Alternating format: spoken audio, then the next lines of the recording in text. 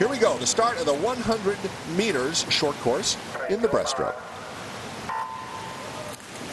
Leisel has such a slow reaction time. However, once she hits the water, it's like she just rockets forward. Let's see how she's doing right now. She's currently in second. Our leader is Jade Edmistone going out early at the first of three turns.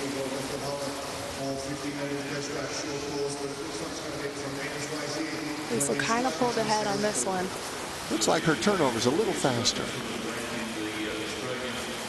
She gets kind of an extra push at the end of her at the end of her stroke when she kind of streamlines a little bit further down than most people. Well, Leisel has now taken the lead by a quarter body length off the midway turn. She's trailed by Edmistone and Tarnee White in lane number three is currently third.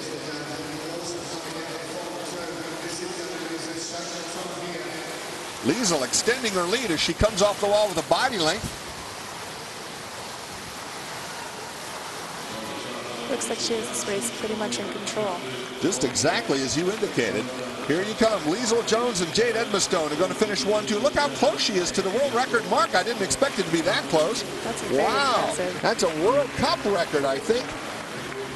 104.37, and that is a new World Cup record for Leisel Jones in the 100-meter breaststroke.